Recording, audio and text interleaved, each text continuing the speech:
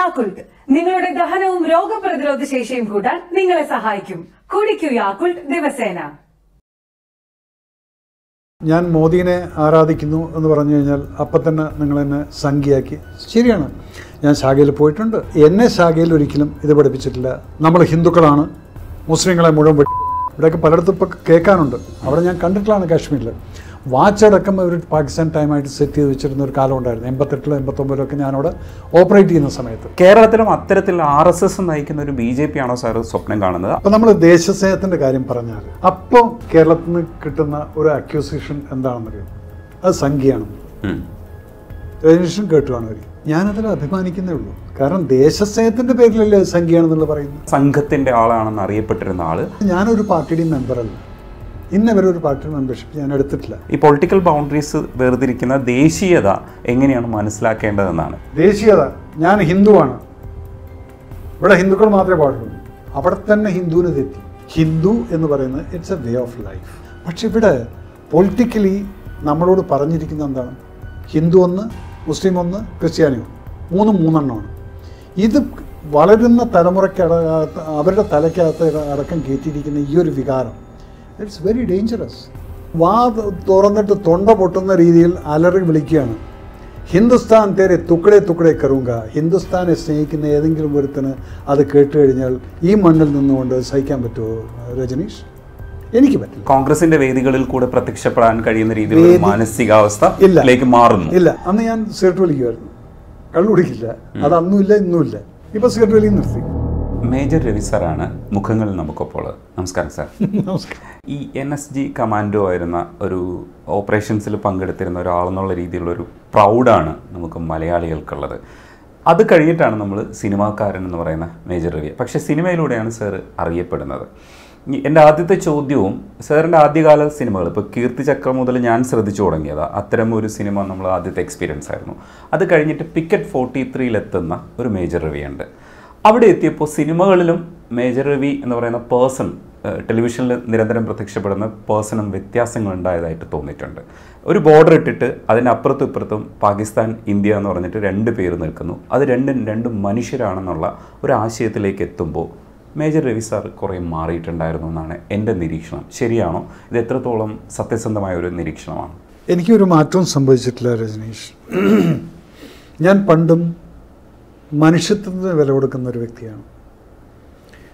പട്ടാളത്തിൽ സർവീസ് ചെയ്യുന്ന സമയത്തും ഇവിടെയൊക്കെ നിങ്ങൾ വർഗീയത ഹിന്ദു മുസ്ലിം എന്നൊക്കെ പറയുന്ന സമയത്ത് എനിക്കതിനോട് പുച്ഛമാണ്. എന്നെ ഇപ്പം ഞാൻ മോദിനെ ആരാധിക്കുന്നു എന്ന് പറഞ്ഞു കഴിഞ്ഞാൽ അപ്പം തന്നെ നിങ്ങളെന്നെ സംഖ്യയാക്കി. ശരിയാണ്. ഞാൻ ശാഖയിൽ പോയിട്ടുണ്ട്.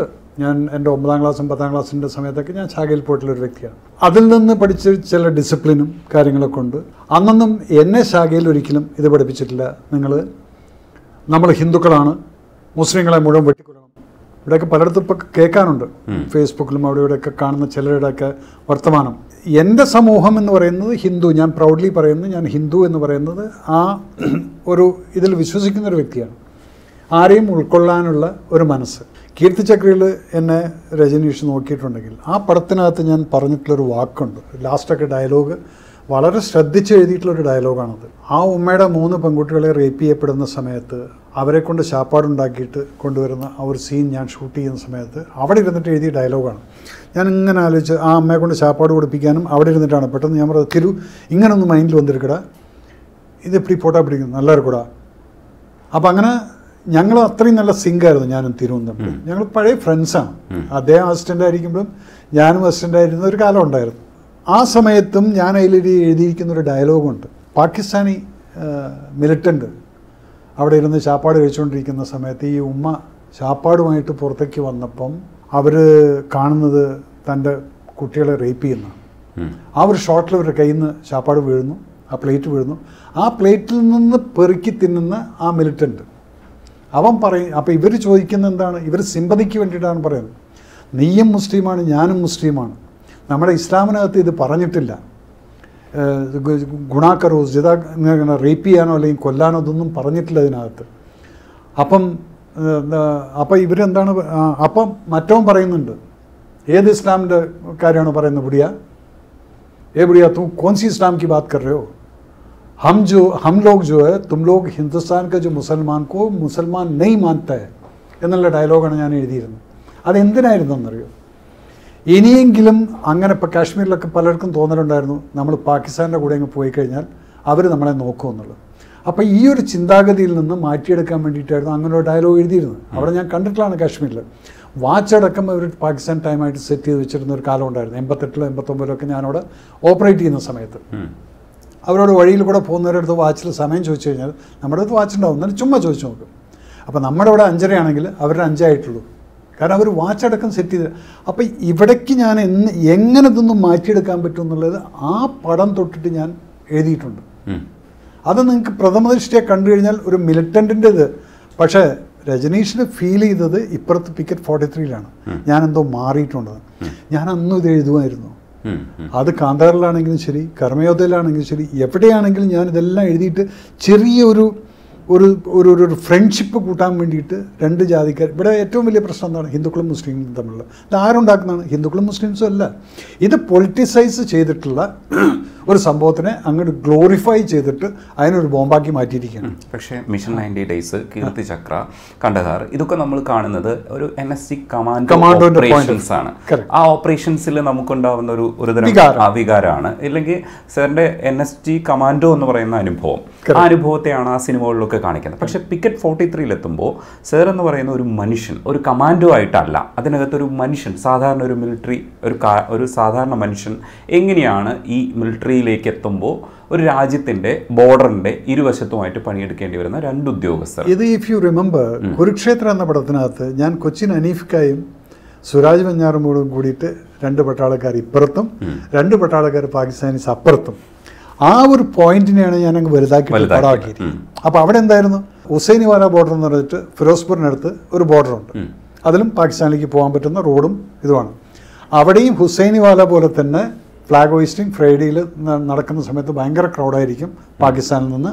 അപ്പോൾ ഇന്ത്യയുടെയും ക്രൗഡ് അതുപോലെ തന്നെ ആയിരിക്കും ഞായറാഴ്ചയും അതുപോലെ തന്നെ ആയിരിക്കും ക്രൗഡ് അപ്പോൾ ഞാൻ അവിടെ ആ ഏരിയയിലായിരുന്നു അന്ന് എൺപത്തേഴിൽ ഏകദേശം യുദ്ധം വരുന്ന ഒരു സിറ്റുവേഷൻ ഉണ്ടായിരുന്നു എൺപത്തേഴ് മാർച്ചിലെല്ലാം. അപ്പം അവിടെ ഞാൻ ഗൺ ആർട്ടിലറിയിലായിരുന്നുകൊണ്ട് ഗണ്ണ് കൊണ്ടുപോയിട്ട് അവിടെ ഡിപ്ലോയ് ചെയ്തിട്ട് പിന്നെ അത് ഡിഫ്യൂസായി യുദ്ധം നടക്കില്ല എന്നുള്ള ലെവലിൽ എത്തിയപ്പം ഒരു മാസം കഴിഞ്ഞപ്പോഴത്തേക്കും അപ്പം ഞങ്ങൾ അവിടെ തന്നെയാണ് ഗൺ അവിടെ ഉണ്ട്. അപ്പോൾ ഈവനിങ് ഈ ഫ്രൈഡേയിൽ ഈ ഫ്ലാഗ് വേസ്റ്റിംഗ് കാണാൻ വേണ്ടി ഞങ്ങൾ പോകും. അപ്പോൾ ഞങ്ങൾ പോകുമ്പോൾ ഇപ്പുറത്തെ പട്ടാളക്കാർ നമുക്ക് ആ റെസ്പെക്ട് ഒരു ഓഫീസറാണ് എന്നുള്ള ലെവലിൽ തരുമ്പോൾ അപ്പുറത്തിരിക്കുന്ന പാകിസ്ഥാനി ഓഫീസേഴ്സും അവർക്കും അറിയാം ഇത് ഓഫീസേഴ്സ് ആണെന്നുള്ളത്. ഞങ്ങൾ സിവിൽ ഡ്രസ്സിലായിരിക്കും എങ്കിലും അവരും ഞങ്ങളും തമ്മിൽ ഒരു ചിരി ഒരു സ്മൈൽ പിന്നെ അടുത്തടുത്ത് വന്നിട്ട് സംസാരിക്കും. ഇതാണ് എന്റെ മനസ്സിനകത്ത് കയറിയത് അന്ന് ഞാൻ സിഗരറ്റ് വലിക്കുമായിരുന്നു. കള്ളു കുടിക്കില്ല. അത് അന്നുമില്ല ഇന്നുമില്ല. ഇപ്പോൾ സിഗരറ്റ് വലിയും നിർത്തി. പക്ഷെ അന്ന് ഇവർ എന്റെ അടുത്ത് ഒരു പ്രാവശ്യം നോക്കുന്ന സമയത്തുണ്ട് ഇവരൊരു ട്രിപ്പിൾ ഫൈവിന്റെ ഒരു കാർട്ടൺ കൊണ്ടുവന്നിരിക്കും അന്ന് നമുക്ക് ട്രിപ്പിൾ ഫൈവ് ഒന്നും കാണാൻ പറ്റില്ല അവിടെ. അപ്പം എന്റെ അടുത്ത് ഇങ്ങനെ കയറി തന്നു. ആദ്യം ചോദിച്ചിട്ടുണ്ടായിരുന്നു ഷർട്ട് വിളിക്കുമെന്ന് പറഞ്ഞു യെസ്. അങ്ങനെ പിറ്റത്തെ വെള്ളിയാഴ്ച ഞാൻ പോകുമ്പോൾ അവർ കള്ളു കുടിക്കും പക്ഷെ അവർക്ക് കള്ളു കിട്ടില്ല. അപ്പോൾ അങ്ങനെ നമ്മൾ ഇവിടുന്ന് രണ്ട് ബോട്ടിൽ റമ്മെല്ലാം കൊണ്ടിട്ട് പൊതിഞ്ഞിട്ട് അവർക്കും കൊടുക്കും. ഇത് നടന്നിട്ടുണ്ട്. അപ്പം എന്തായി? ഇതിനകത്ത് നല്ല ഫ്രണ്ട്ഷിപ്പാണ് നടക്കുന്നത്. ഏത്? യുദ്ധം വരേണ്ടതായിരുന്നു. വന്നിരുന്നെങ്കിൽ ഇപ്പോൾ ഈ രണ്ടുപേരും കൂടെ അടിച്ച് ചാവേണ്ട സിറ്റുവേഷൻ ഉണ്ടായിരുന്നു. പക്ഷെ അതൊക്കെ ഡിഫ്യൂസ് ആയതുകൊണ്ട് നമ്മൾ ആ ഫ്രണ്ട്ഷിപ്പിനെ ഞാൻ മനസ്സിൽ വെച്ചിട്ടുണ്ടായിരുന്നു. ഇത് കഴിഞ്ഞിട്ട് പിന്നീട് ഞാൻ കാർഗിൽ സർവീസ് ചെയ്യുന്ന സമയത്ത് തൊണ്ണൂറ്റി ആറിൽ അവിടെയാണ് പോസ്റ്റ് ഫോർട്ടി ത്രീ എന്ന് പറഞ്ഞിട്ടൊരു പോസ്റ്റ് ഉണ്ട്. അത് കാർഗിൽ നിന്ന് നമ്മൾ ദ്രാസിലേക്ക് പോകുന്ന സമയത്ത് ഒരു നാലഞ്ച് കിലോമീറ്റർ വന്നു കഴിഞ്ഞാൽ റൈറ്റിലോട്ട് പാകിസ്ഥാൻ ബോർഡറിലോട്ട് പോകുന്ന ഒരു റിവറിന്റെ സൈഡിൽ കൂടെ പോയിട്ട് നടന്നു പോകണം പിന്നെ.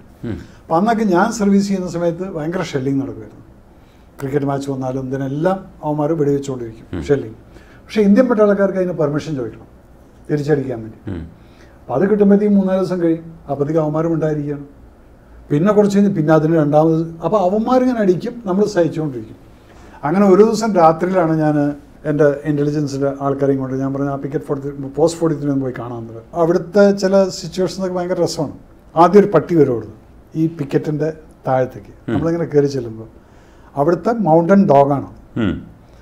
ഇവൻ നടന്നു വരുന്ന സമയത്ത് നമ്മുടെ പട്ടാളക്കാരുടെ ഡ്രസ്സ് കണ്ടു കഴിഞ്ഞാൽ തന്നെ അവൻ അറിയാം.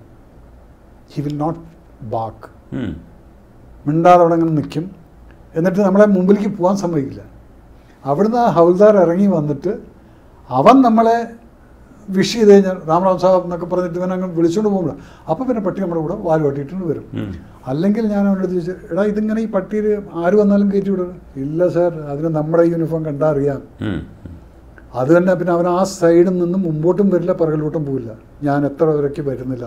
അങ്ങനെ വെൽ ട്രെയിൻഡ് ഒരു ഡോഗും ഉണ്ട് അവിടെ. അപ്പം അപ്പോൾ ഈ ക്യാരക്ടേഴ്സ് എന്റെ മനസ്സിനകത്തുണ്ട്. അങ്ങനെ ഞങ്ങൾ പിക്കറ്റ് കയറി അവിടുന്ന് റൊട്ടീൻ ഇവരെ കൂടി ഇരുന്ന് ചാപ്പാട് കഴിക്കാന്ന് പറഞ്ഞാൽ അവർക്ക് വലിയ സന്തോഷമാണ്. അങ്ങനെ അതെല്ലാം കഴിച്ച് ഞാനിങ്ങനെ പാകിസ്ഥാന്റെ സൈഡിലേക്ക് ഇങ്ങനെ നോക്കിയിട്ട് കട്ടൻ മാറ്റിയിട്ട് ഇതിന്റെ ഉള്ളിൽ കൂടെ നോക്കുകയാണ് നോക്കുന്ന സമയത്ത് നേരെ മുമ്പിലുണ്ട് പാകിസ്ഥാനി ഫ്ലാഗ് ഇങ്ങനെ കിടന്ന് ഇങ്ങനെ ആടുന്നു. അപ്പോൾ ഞാൻ പറയും ഏയ് ഈ ക്യാ പാകിസ്ഥാനി ഫ്ലാഗ് ഇത്ര നസ്റ്റിക് എന്ന് ചോദിച്ചു അപ്പം പറയുന്നത് സർ നസ്തിക്കല്ല ഇവിടുന്ന് ഒരു കുഴിയാണ്. രാത്രി ആയതുകൊണ്ട് നമുക്കത് അറിയില്ല. ഈ കുഴി ഇങ്ങനെ കയറിയിട്ട് പോകണം എന്നിട്ട് ആ കുന്നിന്റെ മുകളിലാണ് അവരുടെ അപ്പോൾ അത് നോക്കുന്ന സമയത്ത് ഒരു ക്രോ ഫ്ലൈസ് എന്നുള്ള ഡിസ്റ്റൻസ് നോക്കിയാൽ ഇരുപത് ഇരുപത് മീറ്റർ കാണും. പക്ഷെ അങ്ങോട്ട് ചെല്ലണമെങ്കിൽ ശരിക്കും താഴത്ത് ഇറങ്ങിയിട്ട് മുകളിൽ കയറണം. അപ്പം ഇതെന്റെ മനസ്സിലുണ്ട്. അങ്ങനെ ഞങ്ങൾ മിഷൻ സലാം കാശ്മീർ എന്ന് പറഞ്ഞിട്ട് ജോഷിയേട്ടന്റെ പടം ഷൂട്ട് ചെയ്യുന്ന സമയത്ത് ജയറാമാണ് ഒരു പ്രാവശ്യം. ഞാനും ജയറാമും കൂടെ തിരിച്ചു വരുമ്പോൾ എന്റെ അടുത്ത് ഞാനിങ്ങനെ നോക്കിയിട്ട് ഇങ്ങനെ നോക്കുന്നു. നോക്കുമ്പോൾ ജയറാം ഇങ്ങനെ നോക്കി. അല്ല മേജർ അവിടെ ആ ഇത് അതൊരു പിക്കറ്റാണ് അപ്പോൾ ഓ അങ്ങനെ ഒരു പിക്കറ്റിൽ ഒരു പട്ടാളക്കാരൻ ഒറ്റയ്ക്കാണെങ്കിൽ എന്നുള്ളത് ജയറാം പറഞ്ഞു. അങ്ങനെയാണെങ്കിൽ അതൊരു കഥയാക്കാം. ആ കഥ അതുകൊണ്ടാണ് ഞാൻ അങ്ങനെ ഉണ്ടാക്കിയിട്ട് അതിനെ ഞാൻ എന്റേതായിട്ടുള്ള രീതിയിലാണ് അതിനെ മോൾഡ് ചെയ്തെടുത്തിരിക്കുന്നത്. അവിടെ അതിന് മുമ്പുണ്ടായിരുന്ന പട്ടാളക്കാരൻ മഹാവൃത്തികെട്ടവൻ അവനെന്നും ഫയർ ചെയ്യുന്നുണ്ട്. അപ്പം എന്താണെന്ന് വെച്ചാൽ എല്ലാ സൈഡിലും ഉണ്ട് വൃത്തികെട്ടവനും നല്ലവനും. അപ്പം ആ വൃത്തികെട്ടവൻ അങ്ങ് പോയപ്പം അവൻ വെറുതെ ഇവിടെ ഇരിക്കുമായിരുന്നു ഈ പോസ്റ്റിലോട്ട്. പക്ഷെ അവനങ്ങ് പോയപ്പം ജാവേദ് ജാഫയുടെ ക്യാരക്ടർ വരുന്നു. അവൻ കൂളായിട്ടാണ് വരുന്നത്. അവൻ മറ്റവൻ ബ്രീഫ് ചെയ്യുമ്പോൾ പോലും അവൻ പറയും "ഏ, ഒന്ന് പോടാ ഇവിടെ. അല്ലെങ്കിൽ ഞാൻ നോക്കിക്കോളാം. എന്നും പറഞ്ഞിട്ട് കാഷ്വലായിട്ടുള്ള ഒരു പട്ടാളക്കാരനെ അവിടെ കഴിയും. അപ്പം അവിടെയുണ്ട് നല്ല മനുഷ്യർ ഇറ്റ് ഈസ് നോട്ട് ദാറ്റ് പാകിസ്ഥാനിലെ എല്ലാവരും ശത്രുക്കളാണെന്നുള്ളത് നമ്മൾ വിശ്വസിക്കുന്നത് ശരിയല്ല അത്. നമ്മൾ ഇതേ പാകിസ്ഥാനികളെ ദുബായിൽ പോയി കണ്ടു കഴിഞ്ഞാൽ നമ്മുടെ കേരളത്തുകാർ എത്രയോ പേര് ഒരേ റൂമിൽ അവർ കിടന്നുറങ്ങിയിട്ട് ഭയങ്കര ഫ്രണ്ട്സ് ഫ്രണ്ട്സായിട്ട് ജീവിക്കുന്നവരുണ്ട്. നമ്മുടെ മലയാളം പടങ്ങൾ കാണുന്നവരുണ്ട്. അവിടുന്ന് ഈ പിക്കറ്റ് ഫോർട്ടി ത്രീ കണ്ടിട്ടുള്ള ഒരു പാകിസ്ഥാനി ആ മലയാളി എന്റെ എങ്ങനെയോ നമ്പർ തേടി പിടിച്ചിട്ട് എന്നെ വിളിച്ചിട്ട് പറഞ്ഞു സർ ഞാൻ ദുബായിൽ നിന്നാണ് വിളിക്കുന്നത്. ഇങ്ങനെ എന്റെ കൂടെയുള്ള ഒരു പാകിസ്ഥാനി സാറിനോട് സംസാരിക്കുന്നത്. അയ്യോ അവൻ സംസാരിക്കുന്നത് കേട്ട് കഴിഞ്ഞാൽ അവൻ പറഞ്ഞത് ക്യാ മേജർ സാബ് കൈസ പിക്ചർ ബനായ അവൻ കരച്ചിലായിരുന്നു. ഇങ്ങനെയുള്ളൊരു ബന്ധത്തിനേക്കല്ലേ കാണിക്കേണ്ടത് സാർ? നമ്മൾ എന്തിനാണ് വരുന്നത് നമ്മൾ സത്യം പറഞ്ഞു കഴിഞ്ഞാൽ ഞങ്ങളുടെ നാട്ടിലെ ഇന്ത്യൻ പട്ടാളക്കാരെന്ന് പറഞ്ഞാൽ ഞാനൊക്കെ ഇവിടുന്ന് പോകുമ്പോൾ ഞാൻ പറയും ഇന്ത്യക്കാരൊക്കെ നല്ലവരാണ്. അങ്ങനെയുള്ള സ്ഥലത്താണ് ഈ ശത്രുത കാണുന്നത്. അതെന്താണ്? രാഷ്ട്രീയപരമായിട്ടുള്ള ഒരു. ടഗ് ഓഫ് വാർ മിലിറ്ററിയുടെ ആ ഒരു പൊളിറ്റിക്കൽ ഏരിയയെ കുറിച്ച് നമുക്ക് സംസാരിക്കേണ്ടതുണ്ട് സാർ പക്ഷേ അതിന് മുമ്പ് ഈ പിക്കറ്റ് ഫോർട്ടി ത്രീ വരെ മേജർ റിവ്യൂയോട് നമ്മൾ സംസാരിക്കാൻ ഇത്തരം വിഷയങ്ങൾ അതായത് ബോർഡറിന്റെ അപ്പുറത്തും ഇപ്പുറത്തും രണ്ട് മനുഷ്യരല്ലേ ഉള്ളൂ എന്നുള്ള രീതിയിൽ സംസാരിക്കാനുള്ള ധൈര്യം ഉണ്ടായിരുന്നില്ല. ആ ധൈര്യം ഉണ്ടാക്കി തന്നത് പിക്കറ്റ് ഫോർട്ടി ത്രീ ആണ്. ആ സമയത്ത് ഒബ്സർവേഷനിൽ സർ ഒരു കാലഘട്ടത്തിൽ തീവ്രമായിട്ടുള്ള ഹിന്ദുത്വ പക്ഷം പിടിക്കുന്നവരുടെ ആളായിട്ടാണ് അവതരിപ്പിക്കപ്പെട്ടത്. അത് കഴിഞ്ഞപ്പോൾ ഒരുപക്ഷെ അങ്ങനെയല്ല ഞാൻ തീവ്ര വലത് ഇല്ലെങ്കിൽ ഇടത് ഇങ്ങനെയെന്നുള്ളൊരു സംഘത്തിൽ നിൽക്കുന്നില്ല മനുഷ്യന്റെ പക്ഷത്ത് നിൽക്കാൻ കഴിയും എന്നുള്ള രീതിയിൽ രാഷ്ട്രീയ കക്ഷികളെ പോലും അതായത് അന്ന് വരെ ഈ ഈ പറയുന്ന സംഘത്തിന്റെ ആളാണെന്ന് അറിയപ്പെട്ടിരുന്ന ആൾ അതല്ല ഞാൻ എനിക്ക് മറ്റു രാഷ്ട്രീയ പാർട്ടികളോടും ചിലതിനോട് വിരോധങ്ങളില്ല എന്നുള്ളൊരു ആറ്റിറ്റ്യൂഡിലേക്ക് സാർ വരുന്നു. ഈ മാറ്റം വരുന്ന ഒരു കാലഘട്ടവും പിന്നെ സാറിന് ടെലിവിഷൻ വർത്തമാനങ്ങളിൽ നോക്കിയാലും ചില കാര്യങ്ങളൊക്കെ മനസ്സിലാക്കി കൊടുക്കുന്ന രീതിയിൽ സംസാരിക്കാൻ തുടങ്ങുന്നു. അതുവരെ ഇല്ല. ഞാൻ ഈ പക്ഷത്ത് നിൽക്കുകയാണ്. ഞാൻ ചില ഫാക്ട്സ് ഒക്കെ പറയും. എനിക്ക് അനുഭവം ഉള്ളതാണെന്നുള്ള അർത്ഥത്തിൽ സംസാരിച്ചിരുന്ന മേജർ രവി അവിടെ നിന്ന് മാറിയിട്ട് ഇപ്പുറത്തെ വശത്ത് വന്നിട്ട് ഇല്ല ഇത് മനസ്സിലാക്കൂ. ഇതിങ്ങനെയാണ് എന്ന് പറയുന്നൊരു ഭാഷയും കൂടെ സ്വായത്തമാക്കുന്നുണ്ട്. അതൊരു പക്ഷേ റിട്ടയർഡ് ലൈഫ് സമ്മാനിച്ചതാണോ എന്ന് എനിക്കറിഞ്ഞൂടാ. അതാണ് ഞാൻ അങ്ങനെ ഒരു ഒബ്സർവേഷൻ നടത്താൻ കാരണം. ഇല്ല അതിനകത്ത് എന്താണെന്ന് വെച്ച് കഴിഞ്ഞാൽ ഇപ്പം നമ്മൾ ദേശസ്നേഹത്തിന്റെ കാര്യം പറഞ്ഞാൽ അപ്പോൾ കേരളത്തിൽ നിന്ന് കിട്ടുന്ന ഒരു അക്യൂസിഷൻ എന്താണെന്നറിയാം? അത് സംഖ്യയാണെന്നുള്ളത് ഉം. കേട്ടു കാണുമായിരിക്കും ഞാനതിൽ അഭിമാനിക്കുന്നേ ഉള്ളൂ. കാരണം ദേശസ്നേഹത്തിന്റെ പേരിലല്ലേ സംഖ്യയാണെന്നുള്ളത് സംഖ്യയാണെന്നുള്ള പറയുന്നത്. ഓക്കെ. അപ്പം ഞാനെന്താണെന്ന് വെച്ചാൽ ഞാനൊരു പാർട്ടിയുടെയും മെമ്പറല്ല. ഇന്നവരെ ഒരു പാർട്ടിയുടെ മെമ്പർഷിപ്പ് ഞാൻ എടുത്തിട്ടില്ല. എന്തുകൊണ്ടെന്ന് പറഞ്ഞാൽ നേരത്തെ പറഞ്ഞ പോലെ എല്ലാ രാജ്യത്തും ഉണ്ട് നല്ലവരും വൃത്തികെട്ടവരും. അതുപോലെ എല്ലാ പാർട്ടിയിലും ഉണ്ട് നല്ലവരും വൃത്തികെട്ടവരും.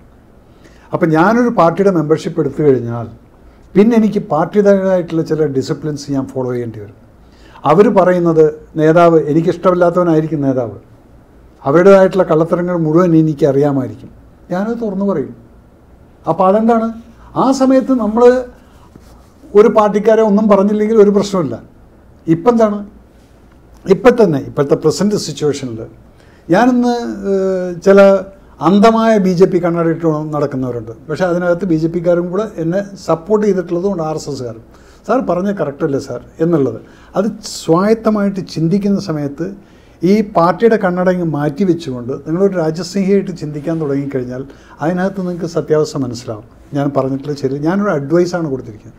സാർ ഇതും കൂടെ ചെയ്തു കഴിഞ്ഞാൽ നന്നായിരിക്കുന്നു. പക്ഷെ അതിനെ അപ്പോഴത്തേക്കും രാഷ്ട്രീയവൽക്കരിച്ചുകൊണ്ട് പല കൊട്ടേഷൻസും വന്ന് ബ്ലോക്കും മീംസും അതുപോലെ തന്നെ ട്രോളുകളും ഇതെല്ലാം ഇറങ്ങിയിട്ടുണ്ട്. ഇവിടെയും എന്താണ്? പലരും അതിന്റെ താഴത്ത് കമന്റ് അടിച്ചിട്ടുണ്ട്. സംഖ്യയായിട്ടുള്ള ഇയാൾ എങ്ങനെ എങ്ങനെ മാറിയെന്നത് ഉം. ഓക്കെ. അപ്പോൾ ഈ സംഖ്യയായിട്ടുള്ള ആൾ എന്ന് പറയുന്നത് എന്തുകൊണ്ടാണ്?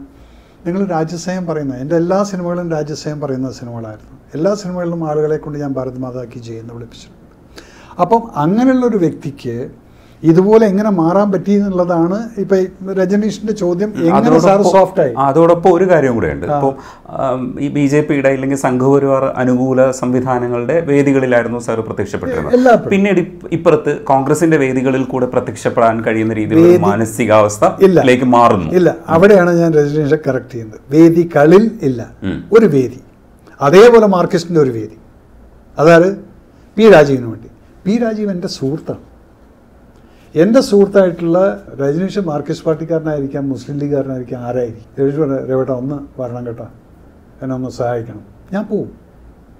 പക്ഷേ രണ്ടായിരത്തി പതിനാറിൽ ഞാൻ വെറും ബി ജെ പിക്ക് വേണ്ടി മാത്രമാണ് ക്യാമ്പയിൻ ചെയ്തിട്ടുള്ളൂ. വേറെ ആർക്കും വേണ്ടിയിട്ടും പോയിട്ടില്ല. ഈവൻ ഗണേശ് ഞങ്ങളുടെ ഫെർട്ടേണിറ്റിയിലുള്ള ആളാണ്. ഞാൻ പോയിട്ടില്ല. അന്ന് മോഹൻലാലൊക്കെ അവിടെ പോയിട്ടുണ്ടായിരുന്നു. പക്ഷെ ഞാനന്ന് ബിസിയായിരുന്നു ഈ ഇതിനകത്ത് ബി ജെ പി എന്നുള്ളത് തന്നെയാണ്. പക്ഷെ പിന്നീട് എന്റെ ചിന്താഗതി മാറിയത് എന്താണെന്ന് വെച്ചാൽ ഈവൻ ലോക്സഭാ ഇലക്ഷൻ അടക്കം ഞാൻ അവരെ സപ്പോർട്ട് ചെയ്തു. പിന്നെയാണ് എനിക്ക് മനസ്സിലാവുന്നത് ഇവർ ഈ ഇവിടുത്തെ സോക്കോൾ ഇപ്പോഴത്തെ ലീഡേഴ്സ് എന്ന് പറയുന്ന രണ്ട് മൂന്ന് ആൾക്കാരുണ്ട്. ഇവരിത് കഴിഞ്ഞിട്ട് നമ്മൾ തിരിഞ്ഞു നോക്കില്ല. കാരണം എന്താ വെച്ചാൽ ഒരു പ്രശ്നം ഞാൻ കാണുന്നത് ഇവർക്ക് വേണ്ടത് അവർക്ക് ഓശാന പാടുന്ന അണികളിപ്പുള്ള ആളുകൾ. അങ്ങനെ നിൽക്കുന്നവർ മതി. അല്ലാതെ കഴിവുള്ളവർ വേണം അല്ലെങ്കിൽ ഇംഗ്ലീഷ് പറയാനും ഹിന്ദി പറയാനും അറിയുന്ന ആൾക്കാരാണെങ്കിൽ അവർ അടുപ്പിക്കില്ല. എന്നുള്ളത് മനസ്സിലായിട്ടുണ്ട്. പലയിടത്തും പോയിട്ട് ഇത് കണ്ടപ്പോൾ ഞാൻ വിചാരിച്ചു ഇത് ഇത്ര സ്വാർത്ഥരാകുന്നുണ്ട് പാർട്ടിക്ക് ഗുണം ചെയ്യുന്ന കാര്യമാണെങ്കിൽ അവരെ അടുപ്പിച്ച് നിർത്തല്ലേ വേണ്ടത്? ഈവൻ സെൻകുമാറിന്റെ കാര്യം തന്നെ നോക്കിക്കഴിഞ്ഞാൽ അവരിവരെയൊക്കെ മാറ്റിയെടുത്തിട്ടേ ഉള്ളൂ. കാരണം അദ്ദേഹത്തിന് കഴിവുണ്ട്. ഒരു ഐ പി എസ് ഓഫീസറായിട്ടുള്ള ആളാണ്. അപ്പം പിന്നെ വെറുതെ ഒരാളിനെ കൊണ്ടുവന്ന് അവിടെ നിർത്തിയിട്ട് മുഖ്യമന്ത്രി സ്ഥാനാർത്ഥി എന്നും പറഞ്ഞിട്ട് അവിടെ നിർത്തി കഴിഞ്ഞാലൊന്നും ഇവർക്ക് ഈ പറയുന്ന വിജയം കിട്ടില്ല. ഒരു സീറ്റ് പോലും കിട്ടാതായി പോയി ഇതൊക്കെ ഞാൻ തുറന്നു പറയും. പറയുമ്പോൾ പാർട്ടിയുടെ പ്രശ്നം എന്നെ പുറത്താക്കാൻ പറ്റില്ല. ഞാൻ പുറത്താണ് ഓൾറെഡി അല്ല സാർ പറഞ്ഞു വരാൻ ശ്രമിക്കുന്നത് ഇപ്പോൾ നിൽക്കുന്ന ഇപ്പോൾ കെ സുരേന്ദ്രൻ മുരളീധരനെ പോലെയുള്ള പാർട്ടിയുടെ നേതൃത്വം കൊടുക്കുന്ന ആൾക്കാരുടെ ഒരു. ആ അത് മാത്രമാണ് സാറിനെ എന്നെ മാറ്റി. മാറ്റി നിർത്തുന്നത്. ബാക്കി അതിനകത്ത് എന്നെ ഇഷ്ടപ്പെടുന്ന എത്രയോ നേതാക്കന്മാരുണ്ട്. എല്ലാ ഇലക്ഷനും കാണുന്ന പേരുകൾ അവരൊക്കെ എന്നെ വിളിക്കാറുണ്ട് ഇതുമുണ്ട് ഈവൻ തൃക്കാക്കര. തൃക്കാക്കര. തൃക്കാക്കര ഇലക്ഷന് പോലും ഞാനിവിടെ ഉണ്ടായിരുന്നില്ല ഒന്നാമത്തെ ഞാൻ ആ സമയത്ത് സംസ്കാർ ഭാരതിയുടെ ഒരു ലെക്ചറിന് ഞാൻ ബോംബെയിൽ പോയിരിക്കുന്നു അപ്പോൾ അതും ഒരു സംഘപരിവാറിന്റെ ഒരു സംഭവം തന്നെയാണ്. അവിടെ പെട്രിയോട്ടിസം ത്രൂ ഫിലിംസ് എന്നായിരുന്നു സബ്ജക്റ്റ് അപ്പൊ അപ്പോൾ അതിന് സ്പീക്കറായിട്ട് എന്നെയാണ് വിളിച്ചിരിക്കുന്നത്. അപ്പം അവരത് വിളിക്കുന്നുണ്ടെങ്കിൽ that means they know the I A patriot അതാണ് അവിടെ പെട്രിയോട്ടിസത്തിന്റെ സബ്ജക്റ്റ് വരുന്നത്. ഇവിടുത്തെ പ്രശ്നം എന്ന് പറയുന്നത് ഇവിടെ നിങ്ങൾക്ക് പാർട്ടി നേരെയാവണം എന്നുള്ളതല്ല. ഇവിടെ എന്തെങ്കിലും ഇലക്ഷൻ വരുന്ന സമയത്ത് എന്തെങ്കിലും കാട്ടിക്കൂട്ടുക പിന്നെ ഞങ്ങൾ ഹിന്ദുവിനെ ഉദ്ധരിക്കാൻ വേണ്ടി നിൽക്കുന്നവരാണ്. നത്തിങ് ഇത് ഒരു പൊളിറ്റിക്കൽ അജണ്ടയായിട്ട് മാത്രം നടക്കുന്ന ആ ബി ജെ പിന്നെയാണ് ഞാൻ മാറ്റിക്കിടത്തുന്നത് പക്ഷേ സെൻട്രലിൽ ഞാൻ മോദിനെ ആരാധിക്കുന്ന ആളാണെങ്കിൽ ഇന്നും ആരാധിക്കുന്ന ആൾ തന്നെയാണ്. അതെനിക്ക് പറയാൻ ഒരു മടിയില്ല. ഇതൊരു പക്ഷേ നമ്മളിവിടെ പറയാറുള്ള ആർ എസ് എസിനെ പോലെ കുറച്ച് മേൽക്കൈയുള്ള സംഘടനകൾ വിചാരിക്കുന്നത് പോലെ ബി ജെ പി നടത്താൻ കഴിയാത്തതിലുള്ള രോഷമാണോ എന്നുള്ളതാണ് എന്റെ ചോദ്യം. പറഞ്ഞാൽ ഒരു ഒരു ഒരു ലെവലിൽ അത് കറക്റ്റാണ്. കാരണം ആർ എസ് എസ് ഷുഡ് കാരണം ആർ എസ് എസിന് രാഷ്ട്രീയപരമായിട്ടുള്ള യാതൊരു ഇൻട്രസ്റ്റും ഇല്ല. അവർ രാജ്യസ്നേഹം എന്ന് പറയുന്ന ഒരു സംഭവത്തിന്റെ മുകളിൽ ഉറച്ചു വിശ്വസിക്കുന്നത് പക്ഷെ അതിനെ ഇപ്പോൾ അവർക്ക് പുതിയ ഓർഡർ കിട്ടിയിട്ടുണ്ടെന്നുള്ളതാണ് ഞാൻ കേട്ടത്. കാരണം പൊളിറ്റിക്കൽ അജണ്ട അവരെടുക്കാൻ പാടില്ല. നേരെ മറിച്ച് എന്നാൽ അവരെ കൃത്യമായിട്ട് പറഞ്ഞ് അഡ്വൈസ് കൊടുത്തിട്ട് നിർത്തേണ്ട ഒരു സംഘടനയാണ് ഈ ആർ എസ് എസ് എന്ന് പറയുന്നത്. അതിലും എനിക്ക് ഞാൻ ഇപ്പോഴും ടച്ചിലുള്ള ആളുകളുണ്ട്. അവർക്കും ഉണ്ട് ഈ ഒരു രോഷം. അതെന്തുകൊണ്ട് ഇവിടെ കേരളത്തിൽ നടപ്പാക്കുന്നില്ല? എന്തുകൊണ്ട്? ഞാൻ പിന്നെ എനിക്കൊരു പ്രശ്നമുള്ളത് എന്താ വെച്ചാൽ മോദിജിക്ക് അറിയില്ല ഈ കേരളം ഇന്ന് what is what is Kerala going through എന്നുള്ളത്? ഇവിടെ കൊലപാതകങ്ങളും കൊലപാതക രാഷ്ട്രീയങ്ങളും ഇതൊക്കെ നടക്കുന്ന സമയത്ത് എന്തുകൊണ്ട് സെൻട്രൽ ഇസ് നോട്ട് ഇന്റർവീനിങ് അപ്പം ജനങ്ങൾക്ക് വേണ്ടി ചിന്തിക്കണമെങ്കിൽ നമ്മൾ വെറും ഓശാ മറ്റേ ഓശാന പണി നിൽക്കുന്ന അണികളായി മാറി നിന്ന് കഴിഞ്ഞാൽ നിങ്ങളെല്ലാവരും ഒരുമിച്ചിട്ട് നിൽക്കുകയാണ്. അവിടെയാണ് ഈ അണികൾക്ക് ചെറുപ്പക്കാരായിട്ടുള്ള പിള്ളേർക്ക് ചങ്കൂറ്റം എന്താ ചേട്ടാ അതിങ്ങനെ ചെയ്ത് ശരിയല്ല എന്ന് പറയാനുള്ള ചങ്കൂറ്റം ഇവർക്ക് കൊടുക്കില്ല. കാരണം ചില നേതാക്കന്മാർ അടക്കി വാഴിക്കാനുള്ള ഒരു ഒരു അവരുടെ ഒരു പ്രഹസനമാണിത്. ബിക്കോസ് ഞാൻ ഒന്നുകൂടെ ക്ലാരിറ്റി വരുത്താൻ വേണ്ടി ചോദിച്ചാൽ ഇപ്പോൾ സാംസ്കാരിക പ്രവർത്തനമാണ് ആർ എസ് എസിന്റെ മുഖമുദ്ര എന്ന് പറയുന്നത്.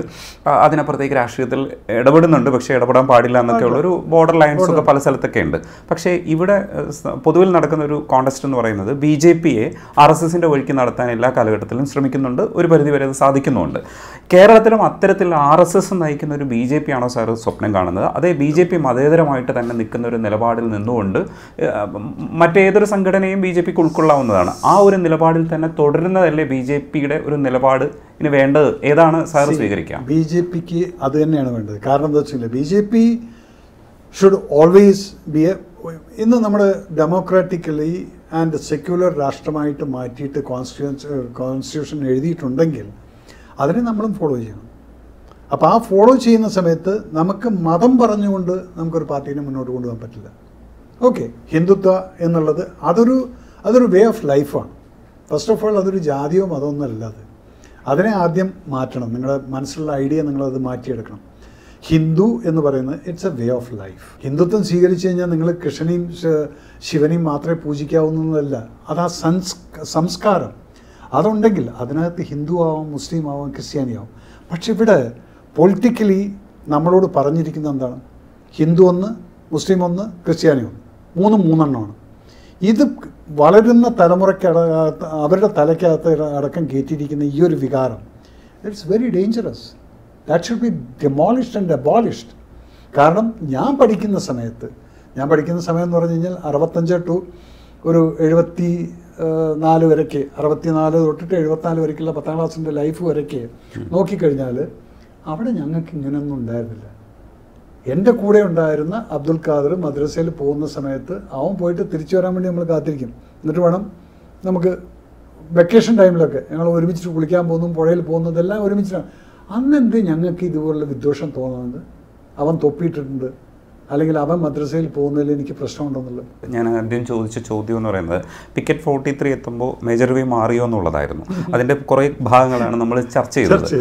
തിരിച്ച് നമ്മൾ അതിലേക്ക് വരുമ്പോൾ രണ്ട് മനുഷ്യരാണ് എന്ന് പറയുന്ന ഒരു ആശയത്തിലാണ് നമ്മൾ നിൽക്കുന്നത്. പക്ഷേ സാറ് വർക്ക് ചെയ്യുന്ന ഇപ്പോൾ എൻ എസ് ജി കമാൻഡോസോ ഇല്ലെങ്കിൽ മിലിറ്ററിയിൽ തന്നെ പലതരത്തിലുള്ള സംഘങ്ങളുണ്ട്. അത് പലതും ക്ലാസ് ആണ് അതിന്റെ ക്ലാസിഫിക്കേഷൻ എന്ന് പറയുന്നത്. മിലിറ്ററിയുടെ പുതിയ അഗ്നിപത് വരുന്ന സമയത്തുണ്ടാകുന്ന ആരോപണങ്ങളിലും കുറച്ച് ട്രെയിൻഡ് ആയിട്ടുള്ള സംഖ്യകളെ ഉണ്ടാക്കാൻ വേണ്ടിയിട്ടാണെന്നൊക്കെയുള്ള ആരോപണം പറയുന്നത് മാതിരി ഇത്തരം ക്ലാസ് ഗ്രൂപ്പുകളൊക്കെ മിലിറ്ററിക്കുള്ളിൽ നിൽക്കുന്നത് പമ്പ് ചെയ്ത് നമ്മുടെ ഏതെങ്കിലും ഒരു തരത്തിൽ അത് പോസിറ്റീവായിട്ട് വരാൻ വേണ്ടിയിട്ട് ചില കാര്യങ്ങളൊക്കെ പമ്പ് ചെയ്യുന്നുണ്ട്. ഇത് സത്യത്തിൽ മിലിറ്ററിക്കുള്ളിൽ ഇത്തരത്തിലുള്ള കാര്യങ്ങൾ നടക്കുന്നു ഇല്ലെങ്കിൽ അങ്ങനെയാണ് അത് പ്രവർത്തിക്കുന്നതെന്ന് മിലിറ്ററിയിൽ നിന്ന് റിട്ടയർഡായി വരുന്ന പലരും സംസാരിക്കുന്നതെന്ന് നമുക്ക് ബോധ്യപ്പെടാറുണ്ട്.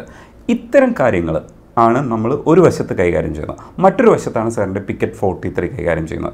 അതുവരെയുള്ള സിനിമകൾ എന്റെ ഒബ്സർവേഷനിൽ ഇപ്പുറത്തെ വശത്താണ്. നമ്മൾ പലതരത്തിൽ പമ്പ് ചെയ്ത രീതിയിൽ പ്രവർത്തിക്കുന്ന ഓപ്പറേഷൻസ് നടത്താൻ ഊർജം സംഭരിക്കുന്ന കുറച്ച് പട്ടാളത്തുകാർ.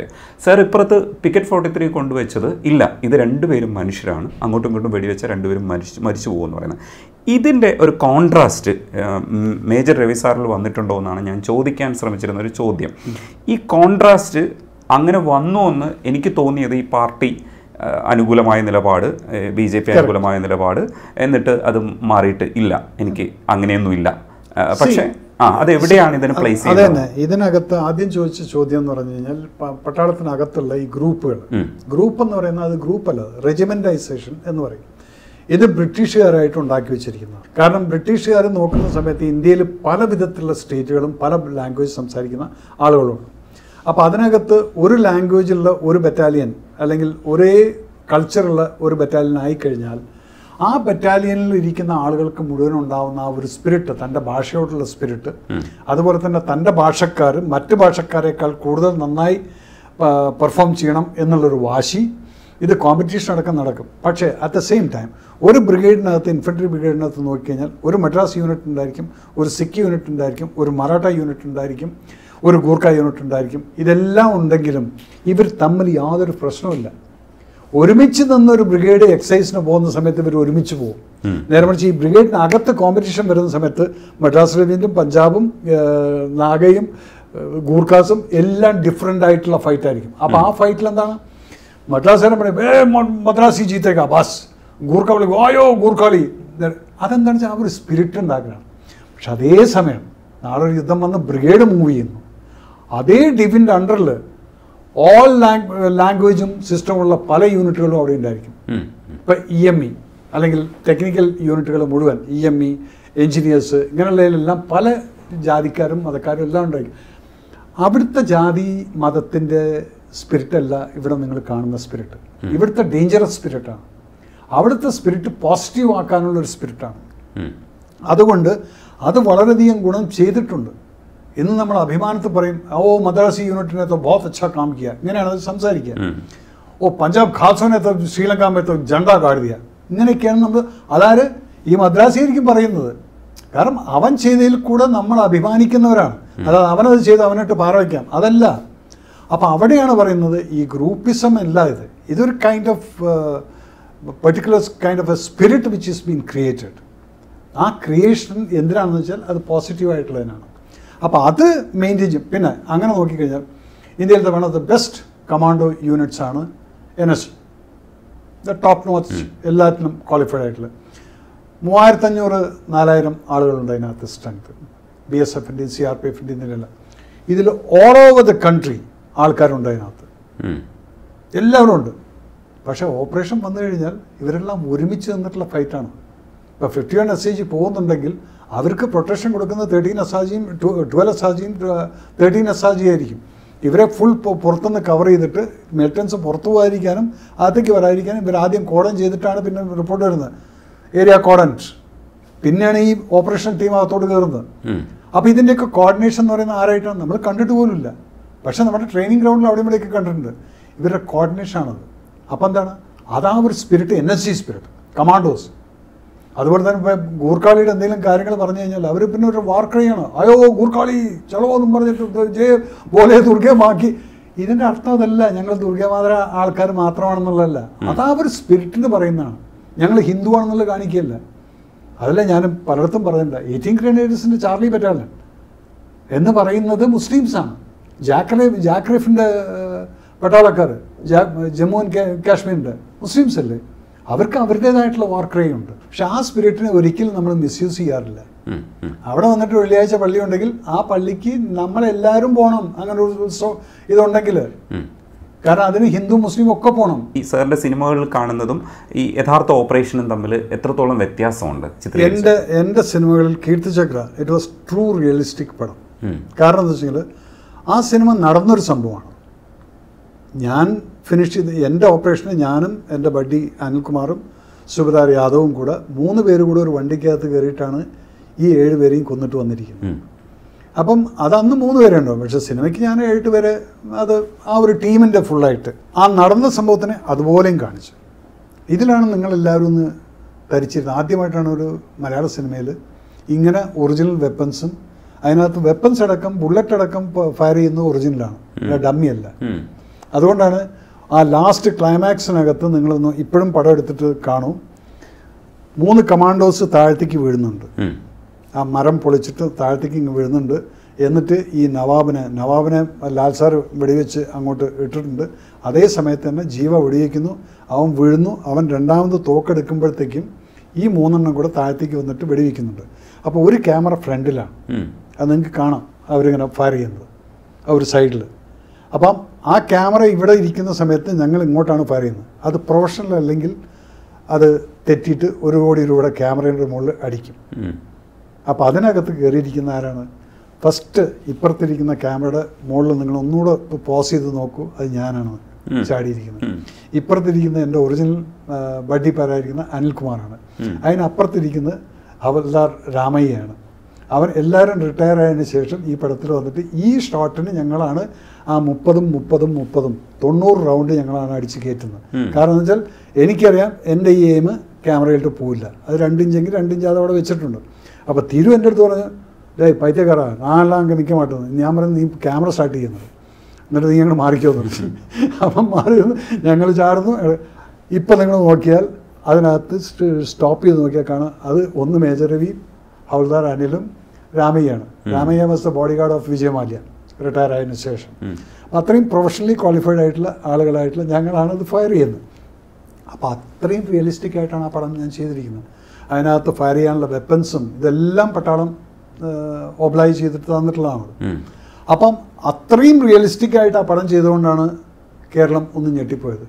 ഇതിങ്ങനൊരു സംഭവം അപ്പം ഒറിജിനൽ ആണോ ഡമ്മി ആണോ എന്നുള്ള അറിയില്ല. എങ്കിലും ആ ഗൺസ് അടക്കം നോക്കൂ. അതിന് കറക്റ്റായിട്ട് അത് തെറിച്ച് പോകുന്ന ഇവിടെ വൺ ഫിഫ്റ്റി ഫ്രെയിം വെച്ചിട്ടാണ് ഞാനത് ഷൂട്ട് ചെയ്തിരിക്കുന്നത്. കാരണം ഈ കേസ് പോകുന്നത് പിടിക്കാൻ വൺ ഫിഫ്റ്റിയിലും കിട്ടില്ല.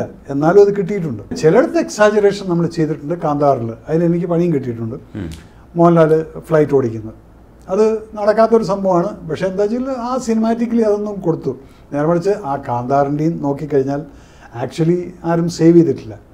അപ്പോൾ ഒരു ഫെയിലിയർ മിഷൻ കാണിക്കുന്നതിനേക്കാൾ ഒരു പോസിറ്റിവിറ്റി കാണിക്കുക എന്നുള്ളതിന് മുകളിലാണ് ഞാനതിൽ രക്ഷിച്ചുകൊണ്ട് വന്നിരിക്കുന്നത്. അതുപോലെ ഈ കാന്താറിന്റെ ഹൈജാക്കേഴ്സ് ആരാണ് ഞങ്ങൾ കണ്ണുകൊണ്ട് കണ്ടിട്ട് വിട്ടുകൊടുത്തിട്ടുള്ള നാല് മിലിറ്റൻസ് ആയിരുന്നു. റുബയ സൈദീനെ കിഡ്നാപ്പ് ചെയ്ത സമയത്ത് ഞാൻ ആദ്യം പോയി ചെയ്യേണ്ട ഓപ്പറേഷൻ കാശ്മീരിൽ ആ ഓപ്പറേഷൻ ആയിരുന്നു. അന്ന് ഞങ്ങൾ ഈ ലാൽ ചൗക്കിൽ ഇവരുടെ ഹൗസൊക്കെ ഐഡന്റിഫൈ ചെയ്ത് ഞങ്ങൾക്ക് വിൻഡോന്ന് കാണാം. ഇവനെ ബാനക്കുള്ളിൽ വെച്ച് കഴിഞ്ഞാൽ ഇവന്മാരവിടെ നിൽക്കുന്നു ഈ പങ്കുവച്ച് അവിടെ നിൽക്കുന്നു. പക്ഷേ പിന്നെ ഓർഡർ വരുന്നത് don't do the operation leave them എന്നുള്ള. അന്ന് ഇവരുടെ ഫാദറായിരുന്നു ഹോം മിനിസ്റ്റർ അപ്പോൾ അങ്ങനെയുള്ള കുറേ അൺപ്ലസന്റ് സീൻസ് ഒക്കെ നമ്മൾ കണ്ടിട്ടുണ്ട്. തീർച്ചയായിട്ടും. ഈ പട്ടാള കഥകൾ പറഞ്ഞാൽ തീരാത്തതാണ്. പണ്ടൊക്കെ പട്ടാളത്തുകാരെ കളിയാക്കാൻ വേണ്ടി നമ്മൾ സിനിമ സിനിമയിൽ കഥ പറയുന്ന വെടി പറയുന്ന. പട്ടാളത്തുകാരെ കാണിക്കുമായിരുന്നു. ഒരു പക്ഷേ അതിന്റെ ഒരു സാധ്യത നമ്മൾ അനുഭവിക്കാത്ത നാട്ടുകാർ അനുഭവിക്കാത്ത ഒരു സ്പേസിലാണ് അവർ നിൽക്കുന്നത്. ഇല്ലെങ്കിൽ ഇപ്പോൾ മേജർ സാറ് നിൽക്കുന്ന ഒരു സ്പേസിൽ എനിക്കൊരിക്കലും നിൽക്കാൻ പറ്റില്ല. സാധിക്കില്ല. ഇല്ലെങ്കിൽ അങ്ങനെ ഒത്തിരി പേർക്ക് നിൽക്കാനുള്ള അവസരം കിട്ടില്ല. അതുകൊണ്ട് ആ അറ്റ്മോസ്ഫിയറിനെ വിവരിച്ചാൽ തീരാത്തതാണെന്ന് നമുക്കൊക്കെ അറിയാം. അതുകൊണ്ടാണ് ഈ പട്ടാള കഥകൾ ഇത്രയും നീണ്ടുപോകുന്നത് ഇല്ലെങ്കിൽ കഥകൾ ഉപകഥകളായിട്ട് സാറിന്റെ ഒബ്സർവേഷൻ എന്താണ്? ഇതിനകത്ത് ഞാൻ ഒബ്സർവ് ചെയ്തിട്ടുള്ള ഒരു കാര്യമുണ്ട് ഒരു പട്ടാളക്കാരൻ ബോർഡറിൽ പോസ്റ്റഡ് ആണെങ്കിൽ. ഇവൻ സത്യം പറഞ്ഞു കഴിഞ്ഞാൽ പിക്കറ്റ് ഫോർട്ടി ത്രീയിലത്തെ ആ പട്ടാളക്കാരനെ പോലെ ഒരു പട്ടാളക്കാരനെ നിങ്ങൾ ആറ് മാസം അവിടെ ഇട്ട് കഴിഞ്ഞാൽ ഇവൻ ആരോട് സംസാരിക്കും? ഇവന്റെ ഉള്ളിലത്തെ ഈ ഫ്രസ്ട്രേഷൻ ഉണ്ടല്ലോ. അവിടെ ഞാനൊരു പട്ടീനെ ബക്കാടീനെ ഇട്ട് കൊടുത്തുകൊണ്ട് ബക്കാടിയുടെ അടുത്ത് ചിലപ്പോൾ സംസാരിക്കും രാജു. അല്ലെങ്കിൽ മറ്റവനായിട്ട് ഫ്രണ്ട്ഷിപ്പ് ആയതിനു ശേഷം പിന്നെ അവനായിട്ട് സംസാരിക്കാൻ തുടങ്ങി. അപ്പോൾ അപ്പം അവിടേക്ക് എന്താണെന്ന് വെച്ചാൽ ഒരു മനുഷ്യന്റെ ആഗ്രഹമാണ് ഞാൻ സംസാരിക്കണമെന്നുള്ളത്. തന്റെ സ്വ- സ്വന്തം ശബ്ദം കേൾക്കാനും ഞാൻ ഇഷ്ടപ്പെടും. ഇതൊന്നുമില്ലാതെ ഇവൻ ലീവിന് വരികയാണ് ആറുമാസം കഴിഞ്ഞ് ഈ പുറത്തു വരുന്ന സമയത്ത് ഇവന് ഇവന് അധികം പറയാനൊന്നുമില്ല. ഇവന് ലോകപരിചയമില്ല. ഈ ആറുമാസം ലോകത്തിൽ എന്താണെന്ന് ഇവനൊന്നും അറിയില്ല. അറിയില്ല. അപ്പോൾ അവൻ അവിടുത്തെ കാര്യം മാത്രമേ പറയാറുള്ളൂ. ഇത് നിങ്ങൾ ഒരു പ്രാവശ്യം കേട്ടു പിറ്റത്തെ ദിവസം അത് കേൾക്കുന്ന സമയത്ത് മൂന്നാം ദിവസം അവൻ വരുമ്പോഴത്തേക്കും ചായക്കടയിൽ നിന്ന് നിങ്ങൾ ഇറങ്ങി ഓടും. കാരണം ഇതേ സംഭവമാണ് റിപ്പീറ്റ് ചെയ്യുന്നത് അതിന് അവനെ കുറ്റം പറഞ്ഞിട്ട് കാര്യമില്ല. അവനത്രേ അവൻ അത്രേ പറയാനുള്ളൂ. കാരണം അവൻ ന്യൂസ് കാണാറില്ല. ന്യൂസ് പേപ്പർ വായിക്കാറില്ല. അപ്പോൾ ഇവിടെ എന്തെല്ലാം അഡ്വാൻസ്മെന്റ് വന്നു എന്നുള്ളത് അവനറിയില്ല. അപ്പോൾ അവൻ അറിയുന്ന കഥ പറയുമ്പോൾ നിങ്ങൾക്കത് പുളുവായിട്ടും ബോറിംഗ് ആയിട്ടും തോന്നും. പക്ഷെ അത് അവന്റെ ഒരു ഫ്രസ്ട്രേറ്റഡ് അവസ്ഥയാണ് അതുകൊണ്ട് അത് മാപ്പാക്ക്. അത് അതിന്റെ കൂടെ ഒരു ഉപചോദ്യം കൂടെ ഉള്ളത്. ഞാൻ ആദ്യം ചോദിച്ച ചോദ്യത്തെ ആവർത്തിക്കുന്നത് കൊണ്ട് ബുദ്ധിമുട്ട് വിചാരിക്കരുത്. കാരണം എന്താ വെച്ചാൽ ചില കാര്യങ്ങൾ ചോദിച്ചറിയാൻ ശ്രമിക്കുകയാണ്. ഇപ്പോൾ മേജർ ഇപ്പോൾ പറഞ്ഞതുപോലെ ലോകത്തെക്കുറിച്ചുള്ള ധാരണയില്ലാതെയാണ് പട്ടാളത്തുകാരൻ ഇവിടെ വരുന്നത്. മേജർ റിട്ടയർ റിട്ടയർഡായി വന്നതിന് ശേഷം മേജറിൽ വന്നു എന്ന് ഞാൻ കരുതുന്ന ആരോപിക്കുന്ന ഒരു തരം മാറ്റമുണ്ട് അത് സിനിമകളിലൂടെ മാറി വരുന്നു അല്ലെങ്കിൽ മേജറിന്റെ സംഭാഷണത്തിലൂടെ മാറി വരുന്നു എന്ന് ഞാൻ കരുതുന്ന മേജർ മാറി എന്ന് കരുതുന്നത് ഇവിടുത്തെ അറ്റ്മോസ്ഫിയറിലെ ജീവിതം കുറച്ചുകൂടെ മേജറിന്റെ മനുഷ്യത്വത്തെയോ ഇല്ലെങ്കിൽ ഈ നാനാത്വത്തെയൊക്കെ എങ്ങനെയാണ് നോക്കിക്കാണേണ്ടതെന്നുള്ള വിഷനെ കുറച്ചൊക്കെ മാറ്റം വരുത്തിയോ? ഈ നിരന്തരമായിട്ടുള്ള ഈ സൊസൈറ്റിയിലെ ഇടപെടൽ അല്ലെങ്കിൽ റിട്ടയർഡ് ലൈഫ് എന്ന് പറയുന്നത് മറ്റൊരു പുതിയ ജീവിതമായിരുന്നു എന്നാണ് എന്റെ ചോദ്യം. റിട്ടയർഡ് ലൈഫിനകത്ത് ഞാൻ പറയാം ഞാൻ ഒരിക്കലും ഡയറക്ടർ ആവാൻ ആഗ്രഹിച്ചിട്ടില്ല. നമ്മൾ ഈ കണ്ണാടിയിൽ നോക്കുന്ന സമയത്ത് നമുക്ക് തോന്നും നമ്മൾ മമ്മൂക്കയാണ് നമ്മൾ മോഹൻലാലാണ് എന്നൊക്കെ തന്നെത്താനങ്ങനെ തോന്നും. അത് എല്ലാവർക്കും തോന്നുന്നതാണ്. ആ ഒരു പ്രായത്തിന്റെ സിനിമയോടുള്ള ഒരു പാഷൻ ഉള്ളപ്പോൾ. അങ്ങനെയാണ് ഞാൻ അഭിനയിക്കാൻ ഒന്ന് രണ്ട് ചാൻസ് ഒക്കെ ചോദിച്ച്. പക്ഷെ ആരും അങ്ങനെ ചാൻസ് ഒന്നും തന്നിട്ടില്ല. അവർ നോക്കുമ്പോൾ പട്ടാളക്കാരൻ വെറുതെ പൂൾ അടിക്കാൻ വേണ്ടി അവിടെ ഇവിടെ. പിന്നെ എന്റെ കഥകൾ കേൾക്കാൻ വേണ്ടിയിട്ട് ചിലർക്കൊക്കെ ഇഷ്ടമാണ്. ലാലേട്ടനൊക്കെ അങ്ങനെ ലൊക്കേഷൻ പോയി കഴിഞ്ഞാൽ അപ്പോൾ അദ്ദേഹത്തിന്റെ പടങ്ങളിൽ അഭിനയിക്കും. അല്ലെങ്കിൽ പ്രദേശം പടം ചെയ്യുന്നുണ്ടെങ്കിൽ അതെങ്കിലും ഒരു തുണ്ട് പീസ് എനിക്കും കിട്ടും എവിടെയെങ്കിലുമൊക്കെ. അതല്ലാതെ വേറെ തമ്പി കണ്ണന്താനം എന്നെ വിളിച്ചിട്ട് അഭിനയിപ്പിച്ചിട്ടുണ്ട്. എന്റെ സുഹൃത്തായിരുന്നു എന്റെ ഒരു സഹോദരനായിരുന്നു. പിന്നെ അതുപോലെ ഭദ്രേട്ടൻ. അത് ലാൽ പറഞ്ഞിട്ടായിരുന്നു. ഒളിമ്പ്യൻ ആനണി യാഗത്തിൽ എന്നിട്ട് എന്റെ ആക്ഷൻ കണ്ടപ്പോൾ മുമ്പ് വന്നിട്ട് നീ ആൾ കൊള്ളാമല്ലോ അതുവരെക്ക്. അതുവരെയ്ക്ക് എന്നോടൊരു ദേഷ്യമായിരുന്നു. ഓ ലാലിന്റെ റെക്കമെൻഡേഷൻ എന്നൊക്കെ പറഞ്ഞു. പക്ഷെ ആ ഒരു ആക്ഷൻ കണ്ടപ്പോൾ മൂപ്പര് വന്നിട്ട് ഇഷ്ടപ്പെട്ടു. ആ അത് ടെലിഫോൺ വിളിച്ചിട്ട് ഭദ്രേട്ടൻ പറഞ്ഞു നീ ആൾ കൊള്ളാമല്ലോ നീ എന്നെ ഞെട്ടിച്ചു എന്ന് പറഞ്ഞു. ഞാൻ പറഞ്ഞു ആ അത് മതി ഭദ്രേട്ടന്റെ വായന കേട്ടല്ലോ. അപ്പം അങ്ങനെ ഇരിക്കുന്ന സമയത്ത് നമ്മൾ പിന്നെ കുറേശ്ശെ കാര്യങ്ങൾ കാണാൻ തുടങ്ങി. ഇവിടുത്തെ സിവിൽ ലൈഫിലുള്ള ഒരു അന്ധമായ രാഷ്ട്രീയ ഇടപെടലുകൾ. രാഷ്ട്രീയം കൊണ്ട് ജനങ്ങളെ തെറ്റിദ്ധരിപ്പിക്കുന്നത്. അതുപോലെ തന്നെ എന്തും പറയാം രാജ്യത്തിനെതിരെ എഗൻസ്റ്റായിട്ട് എന്നിട്ടും അവന് ഹീ ക്യാൻ വാക്ക് ഓഫ് എന്നുള്ളൊരു സിറ്റുവേഷൻ ഞാൻ കണ്ട് കാണുകയുണ്ടായി കുറേ കാലത്ത്. അങ്ങനെയാണ് ഞാൻ ഈ കീർത്തിചക്ര എന്നുള്ള സിനിമ എടുത്തിട്ട് അതെന്തുകൊണ്ടെന്ന് വെച്ചാൽ ഇപ്പം ജെ എൻ യു യൂണിവേഴ്സിറ്റിയിൽ നിന്നുകൊണ്ട് കനയ്യകുമാർ എന്ന് പറയുന്നവൻ വാ തുറന്നിട്ട് തൊണ്ട പൊട്ടുന്ന രീതിയിൽ അലറി വിളിക്കുകയാണ്. ഹിന്ദുസ്ഥാൻ തേരെ തുക്കടെ തുക്കടെ കറുങ്ക ഹിന്ദുസ്ഥാനെ സ്നേഹിക്കുന്ന ഏതെങ്കിലും ഒരുത്തിന് അത് കേട്ട് കഴിഞ്ഞാൽ ഈ മണ്ണിൽ നിന്നുകൊണ്ട് സഹിക്കാൻ പറ്റുമോ രജനീഷ്? എനിക്ക് പറ്റില്ല. അപ്പം ഇതിന് ഞാൻ പ്രതികരിച്ചിട്ടുണ്ട്. അതിന് പ്രതികരിക്കുമ്പോൾ ഞാൻ ആരായി? ഞാൻ കമ്മ്യൂണിസ്റ്റുകാർക്കെതിരായി അല്ലെങ്കിൽ കോൺഗ്രസ്സുകാർക്ക് ഞാൻ ആർക്കും എതിരല്ല. നിങ്ങൾ ആന്റി നാഷണൽ ആണെങ്കിൽ I am against you. If you are a patriotic country loving ദേശപ്രേമി ആണെങ്കിൽ I love you and I die for you. ഇതാണ് എന്റെ ആറ്റിറ്റ്യൂഡ് എന്റെ രാജ്യത്തിന് എഗൻസ്റ്റ് ആയിട്ട് നീ മണ്ണിൽ ഈ മണ്ണിൽ നിന്നുകൊണ്ട് എന്റെ ടാക്സ് പേ മണി കൊണ്ട് നിന്റെ റൂം റെന്റ് ഞങ്ങൾ കൊടുക്കുന്നു ഫീസ് ഞങ്ങൾ കൊടുക്കുന്നു. അത് കഴിഞ്ഞിട്ട് അതേ മണ്ണിൽ നിന്നുകൊണ്ട് if you stand in the Jawaharlal Nehru university and say that with thirty റുപ്പീസിന്റെ ഫീസും കൊടുത്തുകൊണ്ട് പറയാണ് ഹിന്ദുസ്ഥാൻ തേരെ തുക്കടെ തുക്കടെ കറുങ്ക അഫ്സൽ ഗുരു തുമാരി കാതിലോ അം ഷർമിന്ദായ എന്നൊക്കെ പറയുന്നത് ഒരു ടെററിസ്റ്റിന് വേണ്ടിയിട്ടാണ് സംസാരിക്കുന്നത്. I don't you talk about the patriotic soldiers who die for it അവർക്ക് വേണ്ടി സംസാരിക്കും. അപ്പോൾ അതിന് ഞാനൊരു മുഖം എടുത്തതാണ്. ഈ ഡയറക്ടോറിയൽ ബെഞ്ചിൽ ദേശീയത എന്ന് പറയുന്നത് പലപ്പോഴും നമ്മൾ ഉണ്ടാക്കിയെടുക്കുന്ന ഒരു സംഗതിയാണ്. നമ്മൾ നയന്റീൻ ഫോർട്ടി സെവൻ വരെ മറ്റൊരു രീതിയിൽ നമ്മൾ കണ്ടിരുന്ന നാട്. അതിൽ നമ്മളൊരു രാഷ്ട്രീയ ലൈൻ പൊളിറ്റിക്കൽ ലൈൻ വരച്ചിട്ട് അത് അതിന്റെ അപ്പുറത്തേക്ക് പാകിസ്ഥാൻ ഇപ്പുറത്തേക്ക് ഇന്ത്യ എന്ന് പറയുമ്പോൾ നമ്മൾ പുതിയൊരു ദേശീയതയിലേക്ക് മാറുകയാണ്. അതുവരെ ഉണ്ടായിരുന്ന നമ്മുടെ ദേശീയത മാറുകയാണ്. ഇതേപോലെയാണ് നമ്മൾ സംസ്ഥാനങ്ങളെ. അത് ഫെഡറൽ സംവിധാനമാണ്. പക്ഷേ സംസ്ഥാനങ്ങൾക്ക് ഇത്തരത്തിലുള്ള ലൈന് വളരെ നേരത്തെ ലൈൻ ആയതുകൊണ്ട് നമുക്ക് അത്തരത്തിൽ അ- അവരെ കാണാം. പക്ഷേ ഇടയ്ക്കൊക്കെ ചില ഇഷ്യൂസൊക്കെ വരുമ്പോൾ നമ്മൾ ഈ പൊളിറ്റിക്കൽ ലൈന്റെ പേരിൽ തമിഴ്നാടെന്നും കേരളവും എന്നൊക്കെ പറയുന്നുണ്ട്. ഈ ദേശീയത എന്ന് പറയുന്ന ഈ കോൺസെപ്റ്റ് സത്യത്തിൽ എങ്ങനെയാണ് സ്വീകരിക്കേണ്ടതെന്നാണ് സാറിന്റെ മനസ്സിലുള്ളത്? സി ദേശീയത എന്ന് പറയുന്നത് നിങ്ങളൊരു ഒരു ഒരു ജാതിയെ ഒറ്റപ്പെടുത്തിക്കൊണ്ടോ അല്ലെങ്കിൽ ഒരു മതത്തിനെ ഒറ്റപ്പെടുത്തിക്കൊണ്ടോ പറയേണ്ട കാര്യമില്ല. ദേശീയത എന്നുള്ളത് ചെറുപ്പക്കാരിൽ കുട്ടിക്കാലം മുതൽക്കേ വളർത്തിയെടുക്കേണ്ട ഒരു സീഡ് അവിടെ പാടി പാവിയിടും. ഞങ്ങളൊക്കെ പഠിക്കുന്ന സമയത്ത് സ്കൂളിൽ കാലത്ത് ഒരു ജനഗണമന പാടിക്കൊണ്ട് ഫ്ലാഗ് ഉയർത്തിക്കൊണ്ടാണ് സ്കൂളിൽ സ്കൂൾ തുടങ്ങുന്നത് തന്നെ അസംബ്ലി തുടങ്ങുന്നത്. ഇന്ന് എത്ര സ്കൂളിൽ സ്കൂളുകളിൽ അങ്ങനെയുള്ള അസംബ്ലി ഉണ്ട്? ദേശീയത എന്ന് പറയുന്നത് എന്റെ രാജ്യത്തോടുള്ള പ്രതിബദ്ധത. ഞാൻ ജീവിക്കുന്ന ജനിച്ച് വീണ മണ്ണ് ഇതിനോട് എനിക്കൊരു പ്രതിബദ്ധതയുണ്ട്. അത് വൃത്തിയായിട്ട് വയ്ക്കുക അതുപോലെ തന്നെ എന്നെക്കൊണ്ട് മറ്റൊരാൾക്കൊരു ഉത്തരവ് ഉണ്ടാവരുത്. ഇതുപോലുള്ള ഡിസിപ്ലിൻസ് അവർക്കുണ്ടായിരിക്കണം. സമയത്തിന് വില കൊടുക്കുക. ആ സമയം നമുക്ക് വിലയില്ലെങ്കിൽ പിന്നെ മറ്റുള്ളവരുടെയും സമയം നമ്മൾ അതുകൊണ്ട് നഷ്ടപ്പെടുന്നു. പ്രോസ്പെരിറ്റിയിലോട്ട് പോകുന്നത് ഈ സമയം എടുത്തു കഴിഞ്ഞു കഴിഞ്ഞാൽ അപ്പോൾ എല്ലാവരും അങ്ങനെ ചിന്തിക്കാൻ തുടങ്ങിക്കഴിഞ്ഞാൽ ഓട്ടോമാറ്റിക്കലി രാജ്യം വിൽ ഓൾവേസ് ചെയ്തേക്ക് I am a proud Indian എന്നുള്ളത് പറയുമ്പോൾ ഇതിപ്പോൾ എത്ര പേർക്ക് അങ്ങനെ പ്രൗഡിയായിട്ട് പറയാൻ പറ്റുന്നില്ല. കാരണം they don't want to say like that ഇത് അങ്ങനെ ജീവിച്ചു പോകുന്നുണ്ട്. സർ ഇപ്പോൾ പൗരബോധമുള്ള ഒരു പൗരനെ കുറിച്ചാണ് സംസാരിച്ചത്. എന്റെ ചോദ്യം എന്ന് പറയുന്നത് ഈ പൊളിറ്റിക്കൽ ബൗണ്ടറീസ് വേർതിരിക്കുന്ന ദേശീയത എങ്ങനെയാണ് മനസ്സിലാക്കേണ്ടതെന്നാണ്? ദേശീയത. ഞാൻ ഹിന്ദുവാണ്. ഇവിടെ ഹിന്ദുക്കൾ മാത്രമേ പാടുള്ളൂ. അവിടെ തന്നെ ഹിന്ദുവിന് തെറ്റി. കാരണം ഹിന്ദുവാണെന്ന് പറഞ്ഞു കഴിഞ്ഞാൽ അവിടെ ഹിന്ദുക്കൾ എന്നുള്ളതല്ല ആ ഹിന്ദുവിന്റെ സംസ്കാരം വേ ഓഫ് ലൈഫിൽ അത് പറഞ്ഞിട്ടില്ല. ഇതിനെ പൊളിറ്റിസൈസ് ചെയ്യുമ്പോഴാണ് പ്രോബ്ലംസ് വരുന്നതെന്നാണ് സർ പറയാൻ ശ്രമിക്കുന്നത്. ഞാൻ ആദ്യം മുതലേ സെർച്ച് ചെയ്യാൻ ശ്രമിച്ചതും ആ ഒരു ചോദ്യത്തിനുള്ള ഉത്തരവാണ്. സാറിന്റെ ഇത്തരം നിലപാടുകളിൽ കുറച്ചുകൂടെ മാറ്റം വരുന്നുണ്ട്. സാറിനെ മനസ്സിലാക്കിയതില്ലെങ്കിൽ മാറ്റം വരുന്നുണ്ട്. ഞങ്ങളൊക്കെ മനസ്സിലാക്കി ഒരു പക്ഷേ രജനീഷ് നമുക്ക് over a period of time when you age. സീസൺലി age ഇപ്പം ഞാൻ അന്ന് ഇപ്പോൾ പിക്കറ്റ് ഫോട്ടോഗ്രാഫി ചെയ്യുന്ന സമയത്ത് എന്റെ വയസ്സ് അമ്പത്തേഴ് വയസ്സോ മറ്റായിരുന്നു ഓക്കെ. ഏഴ് വർഷം മുന്നേയാണ് രണ്ടായിരത്തി പതിനഞ്ചിലാണ് ആ പടം ഇറങ്ങുന്നത്. അപ്പം ഏഴ് വർഷം മുന്നേ അമ്പത്തേഴ് വയസ്സെന്ന് പറയുമ്പോൾ ഒരു റിട്ടയർമെന്റ് ഏജാണ് ആണ്. ആ സമയത്ത് പക്വത വന്ന് ഒതുങ്ങി ആരോടും തല്ലൂടാൻ പോവാതെ എടുത്തു ചാടാതെ നടക്കുന്ന ഒരു സീസണാണത് ആ പക്ഷേ സാർ ഇപ്പോഴും പറയാറുണ്ട്. എന്റെ ഇടയിൽ ഇടപെടുന്നതുകൊണ്ട് ശ്രമിക്കുക. ഇപ്പോഴും പറയാറുണ്ട്. എനിക്ക് ഒരുത്തനെ കൊല്ലാനൊന്നും മടിയില്ല. സി നമ്മൾ വെറുതെ ഇരിക്കുന്ന ആരെയും തല്ലിടാൻ പോകാറില്ല പക്ഷെ ഇങ്ങോട്ട് എന്തെങ്കിലും വന്നു കഴിഞ്ഞാൽ അതിനെ പ്രതികരിക്കാതിരിക്കുന്നവൻ മനുഷ്യനല്ല. അവിടെ ഞാൻ ഗാന്ധിസം പറയുന്നത് I am not ready for it അതിനെതിരായിട്ടുള്ള ഒരു നിലപാടെടുക്കുന്നതാണ് പിക്കറ്റ് ഫോർട്ടി ത്രീ സിനിമ.